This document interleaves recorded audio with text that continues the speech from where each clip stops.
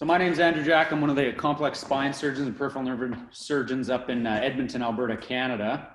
And unfortunately, as we were talking about earlier, it's not quite that sunny and nice out now, but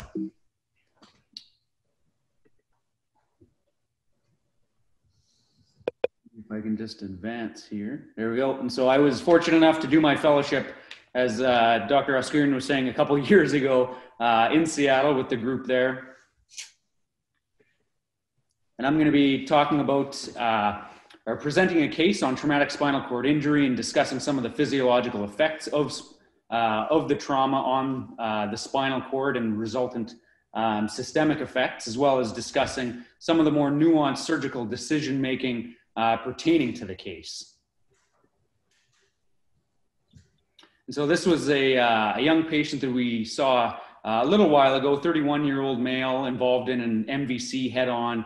Uh, he was restrained and belted in uh, the rear seat, but intoxicated, uh, otherwise healthy, and he was awake and alert uh, at the scene. by the time he was brought into the emergency department, although afebrile, he was a little bit hypotensive and, and mildly bradycardic there. respiratory rate stable and satting well, GCS of 15. So this is his, uh, his ASIA neurological exam. You can see that uh, at the bottom there, he was an ASIA A, uh, approximately a C6 neurological level with a very small area of uh, or zone of partial preservation. And so I'll just talk about some of the investigations then that are pertinent to this case. Uh, a trauma patient, obviously, he'd undergone uh, extensive workup looking for other uh, injuries, CT chest, abdomen, and pelvis, CT head. Uh, but he was uh, his his injuries were isolated to his uh, cervical spinal cord, and so uh, investigations sailing to this case then MRI. Uh, CT looking for bony injury, CTA looking for vertebral artery abnormalities, dissections, and injury, um, which have their own indications as well, which we can talk about a little bit later on if you guys like. and then obviously a preoperative and, and trauma panel workup for him as well. And so I have his uh, CT here. If I can go through it here. And so just moving through the sagittal cuts there, you can see then uh, this was the C6-7 level. Uh, you can see that he's fractured his superior articulating process of C7, as well as then split his, his uh, lateral mass and facet on that side, and then jumped it. And then going through, you can see that he's translated forward in keeping with a flexion distraction type injury, as well as because of that, uh, ended up with almost a teardrop like fracture from that flexion compression uh, mechanism. And then going to the other side,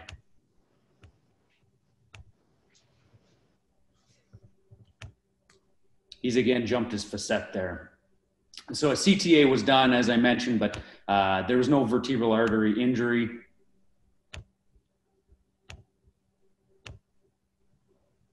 So there's a couple of different classification systems uh, that are more widely used and recognized. This is the SLICS system, uh, breaking up these injuries into injury morphology. He had a translational type injury. Uh, integrity of the discoligamentous complex obviously disrupted.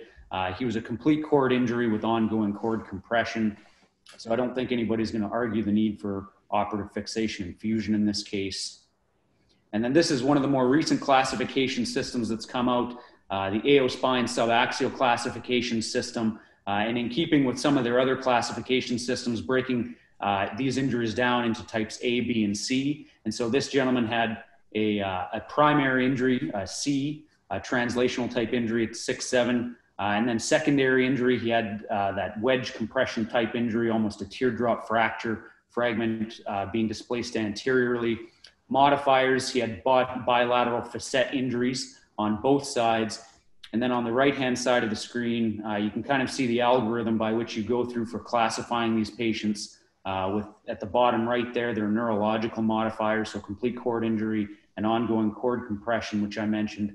The one thing that's a little bit unique about this classification system, which uh, I quite like, is it, it also adds in uh, other potential systemic modifiers as well. For example, whether or not there's a vertebral artery uh, abnormality or injury, as well as metabolic bone diseases such as OPLL, AS, for example, whether or not there's a large critical disc herniation, which uh, may also help tip your hat one way or the other in terms of management.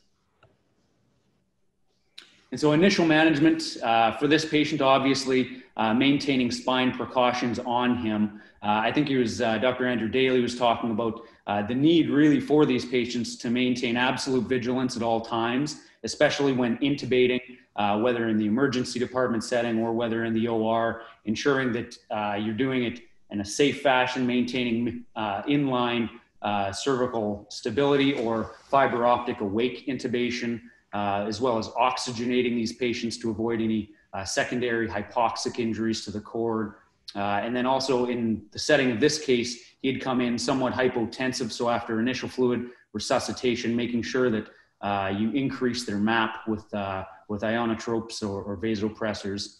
And then I, I mentioned reduction here. Uh, this is going to be a little bit more surgeon dependent and, and locale dependent, whether or not that's done uh, in a closed fashion preoperatively or uh, just taking them straight to the OR for an open reduction and fixation fusion.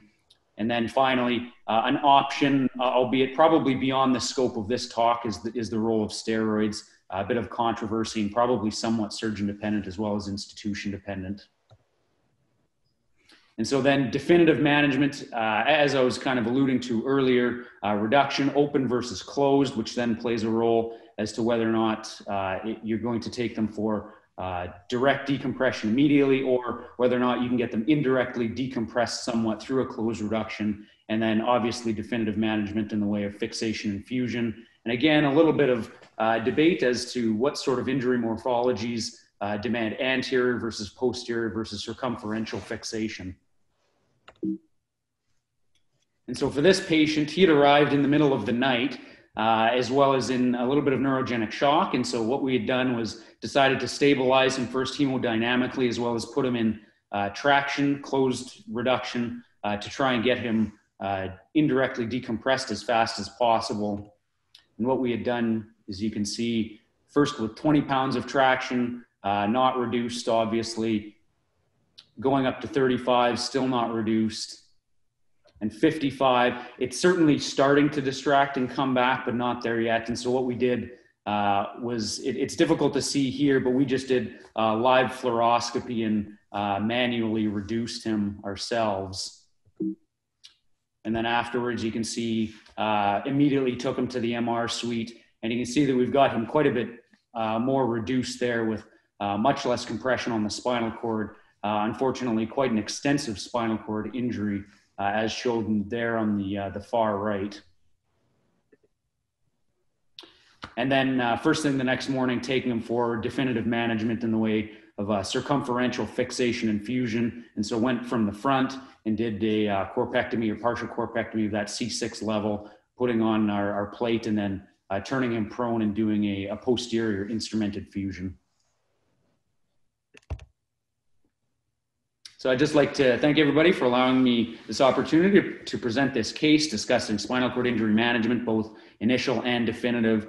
Um, I think we have reasonably good evidence now showing that uh, for operative patients or for these patients, we should really be trying to, to decompress them and uh, operatively and fix them as soon as safely possible. And that there are several classification systems out there. Uh, the SLICS system, one of the more commonly used ones, as well as the more recent AO spine uh, subaxial classification system.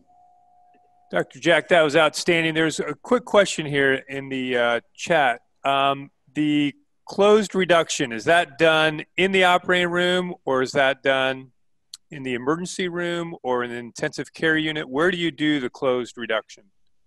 Uh, so for this, so typically our, our institution is a little bit unique. Uh, one of my partners uh, he actually he invented and fabricated an MR compatible spine board. And so what we'll often do with these patients uh, is we'll put them on the spine board and we'll reduce them under MR um, if it's, for example, in the middle of the night, and we can go and shoot sagittal T2s and increase the weight in real time, looking at them come back and reduce. Now, that being said, um, if we're not able to get them reduced, I think it is important to get them decompressed as quickly as possible, as I was mentioning. So we'll take them straight to the OR in that case.